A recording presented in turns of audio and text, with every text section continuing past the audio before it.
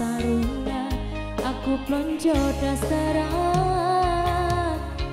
nanging saiki wis dadi aku kalau kowe bisa?